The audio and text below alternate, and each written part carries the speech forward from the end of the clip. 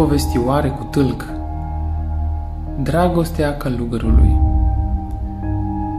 Pe un drum, un câine a sărit la un om și a început să-l latre. Omul însă a pus imediat mâna pe o piatră și a aruncat după animal. Câinele s-a ferit imediat și, ce să vezi, a sărit mai tare la om, gata, gata să-l muște.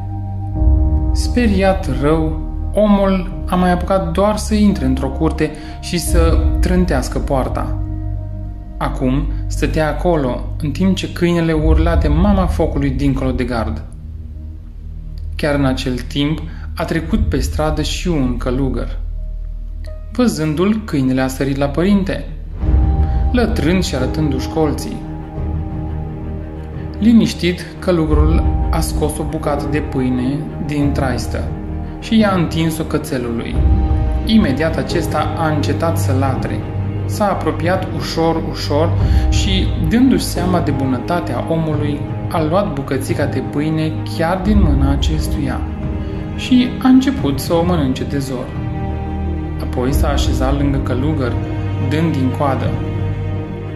Vezi, omule, i-a spus părintele celui din spatele gardului, bunătatea naște întotdeauna bunătate. Dacă tu ai fost rău, câinele, cum ai fi vrut să fie el cu tine? Hai vino și mângă el. Să nu mai faci niciodată un rău. Acolo unde poți face bine. Și crede-mă, oriunde și oricând poți face numai bine. De tine depinde. Dragostea este bucuria de a face altora ポコリ